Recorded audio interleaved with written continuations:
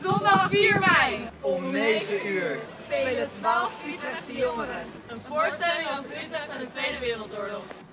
Theater na de Dam in Stadschouwburg Utrecht. Wees welkom bij Zolang ik adem, hoop ik.